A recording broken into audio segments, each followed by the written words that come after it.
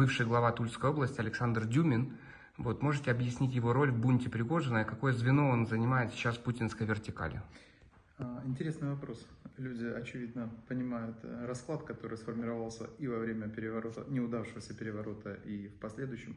Дюмин играл активную роль в переговорном процессе. По сути, он и был главным переговорщиком, потому что субъект по фамилии Лукашенко – это фикция. Это человек, который не имеет ни влияния, не умеет вести переговоры и, соответственно, его используют для, как ширму, которая может очень много деталей говорить, несуществующих, таким образом создавать э, иллюзию правдоподобия.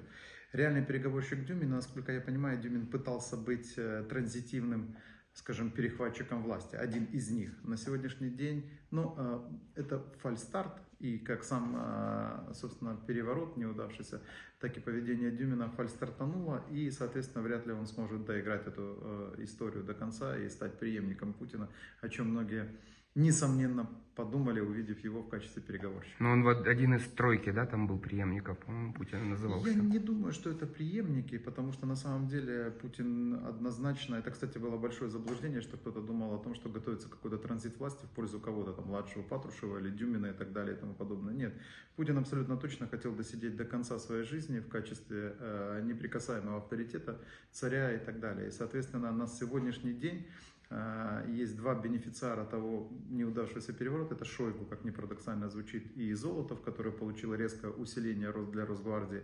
Ну и, соответственно, проигравшими являются тот же Патрушев, тот же Дюмин и так далее.